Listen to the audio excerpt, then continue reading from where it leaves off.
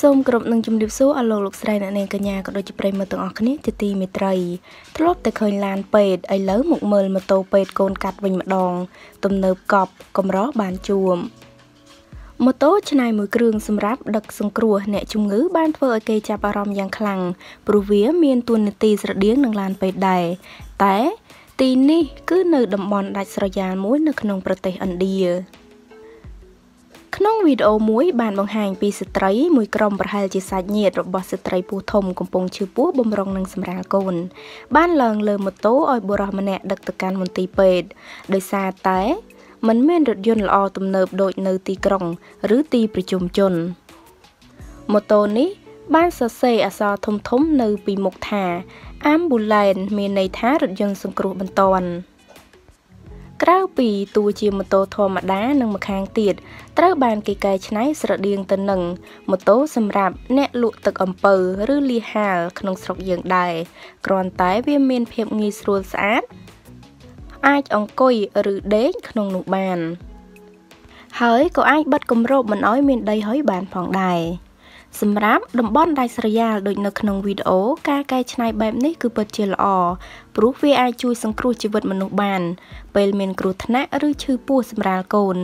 ដោយសារអាចដឹកទៅកាន់មន្ទីរពេទ្យបានយ៉ាងងាយមិនបាច់អង្គុយឈរត្រង់ខ្លួនដូចម៉ូតូ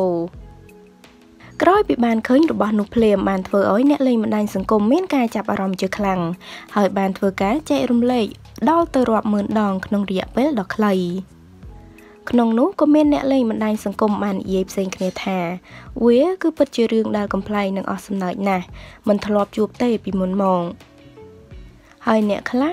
ក៏បានលើកសរសើរថាគឺពិតជាមានគំនិតកែច្នៃល្អមែន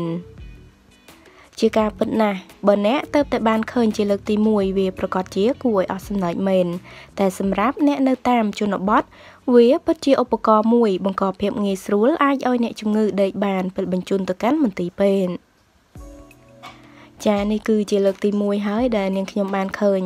ម៉ូតូសង្គ្រោះបន្ទាន់គឺប្រៀបដូចជារថយន្តដែលសង្គ្រោះបន្ទាន់អញ្ចឹងបងប្អូន គឺមានដាក់ផ្លាកថា ambulance ទៀត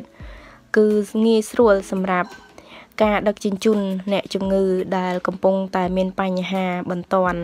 នេះគឺជាការកែច្នៃមួយដ៏ល្អផងដែរ ហើយម៉ូតូសង្គ្រោះបន្ទាន់នេះដែរគឺវាមាននៅ ប្រទេសឥណ្ឌានៅក្នុងតំបន់ដាច់ស្រយាលមួយដែលឆ្ងាយពីទីក្រុង ដោយពុំមានរថយន្តសង្គ្រោះបន្ទាន់បានធ្វើឲ្យគេមានគំនិតកែច្នៃម៉ូតូទៅជាម៉ូតូសង្គ្រោះបន្ទាន់វិញ